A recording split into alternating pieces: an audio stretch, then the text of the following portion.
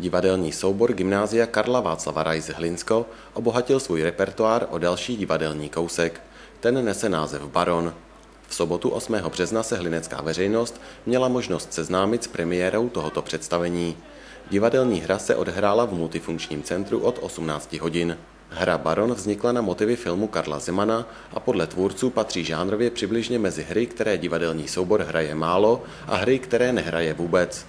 Představení se pokouší mapovat provázanost vztahů mezi technikou a fantazií a je plné speciálních triků a zajímavých výtvarných řešení.